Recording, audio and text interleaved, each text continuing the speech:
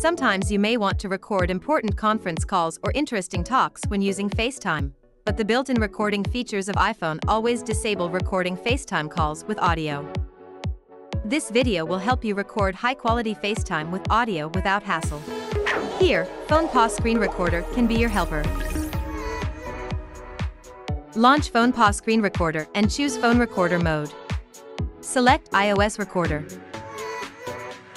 Your phone and computer should connect to the same Wi-Fi. Then, navigate to the control center, select Screen Mirroring, and press FonePaw Screen Recorder.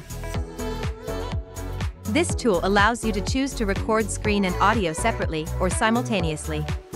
On the panel, select sound from different devices and modify volume. Resolution can be highest up to 4K to produce recordings with lossless quality. Click the orange button to start recording your FaceTime calls. Tap here to stop.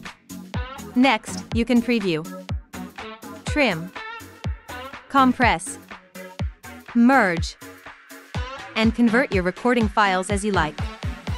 C.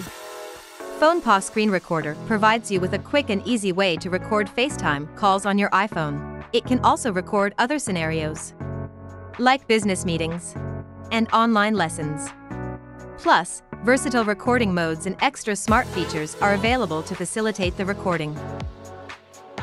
If you want to know extra tutorials about screen and audio recording on Mac computers, just give us a like, subscribe to our channel and watch more tips.